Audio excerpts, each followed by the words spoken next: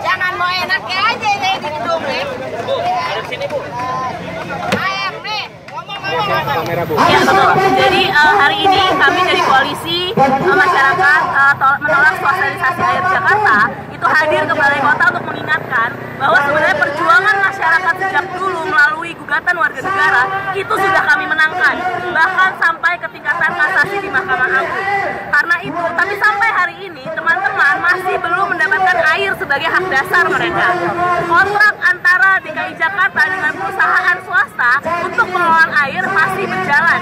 Karena itu kita kita ingin mengatakan di sini bahwa itu harus diputus segera, pengelolaan air harus dikembalikan ke negara, masyarakat semua harus mendapatkan hak-haknya atas air sehingga hak dasar